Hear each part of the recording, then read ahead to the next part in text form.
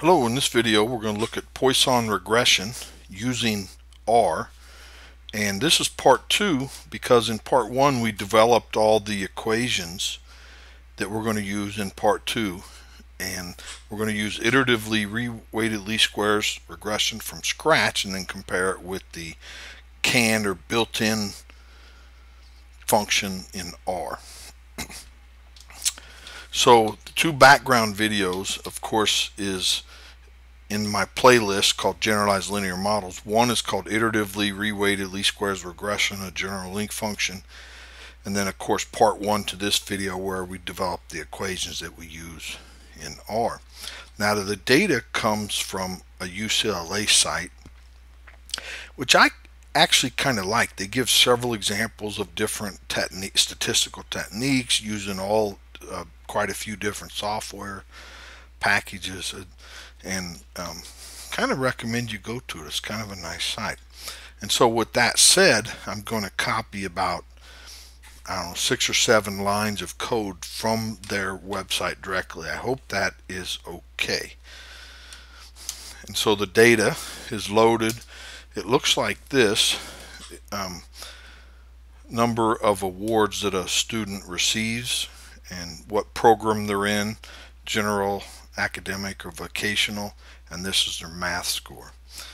Now the next set of code um, it makes program a factor you know levels one two three and they code them to general academic and vocational and makes ID a factor also not really sure why.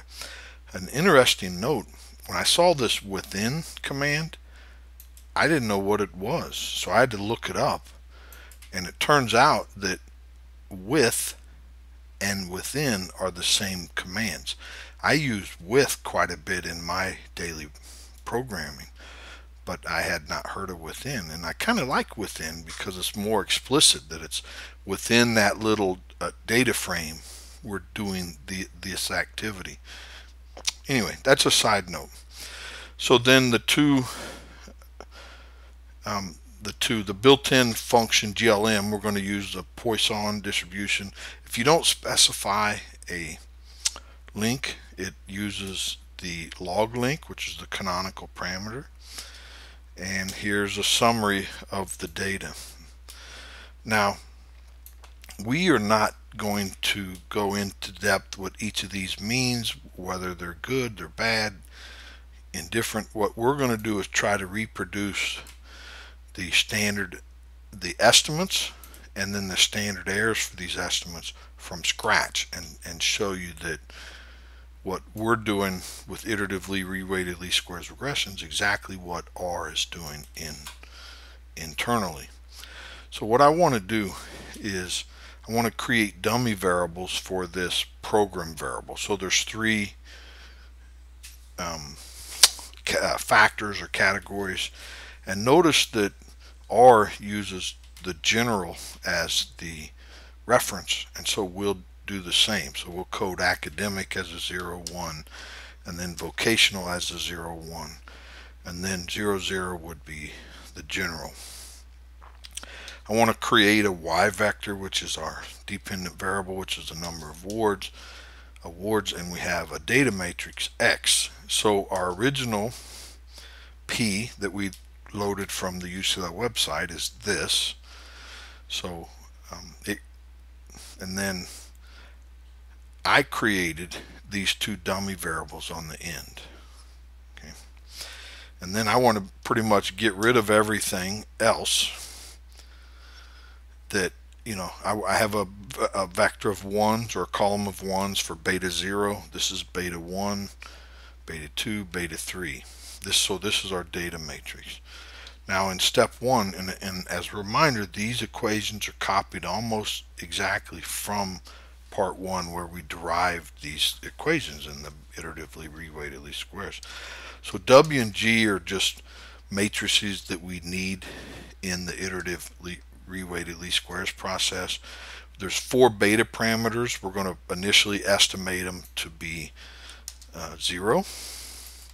In step two, we we start we use our beta estimates to start estimating the necessary things in our equations. So eta is what is our generic term for this linear combination and then we use the inverse link on eta which is the uh, exponential to find our mean of our data. Now G is it's a diagonal matrix that we we need to make this vector multiplication work.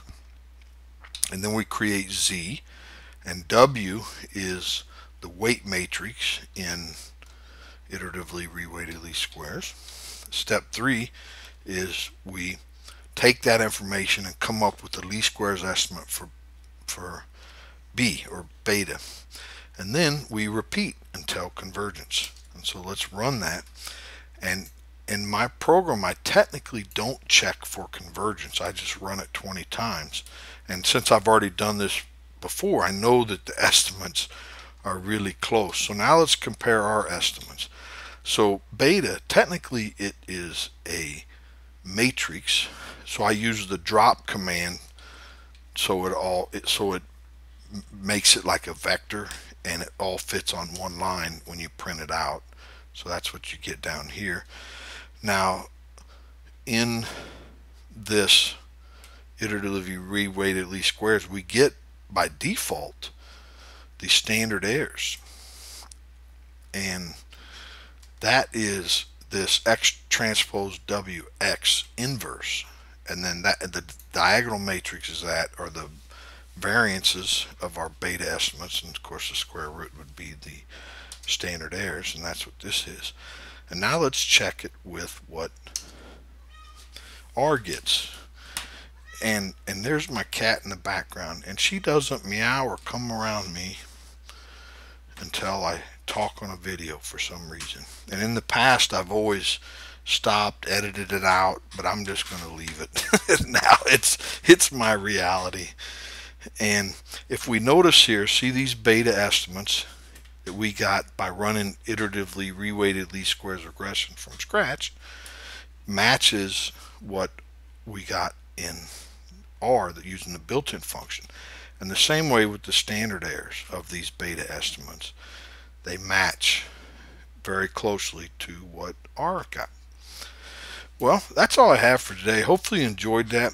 Oh, here's one note. I tried to, I wanted to do an example where we used an offset and run iteratively reweighted least squares regression from scratch.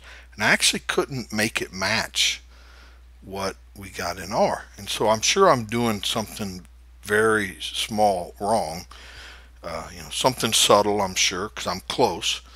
But if one of you would post your R code that that does you know the iteratively reweighted least squares from scratch that would be much appreciated.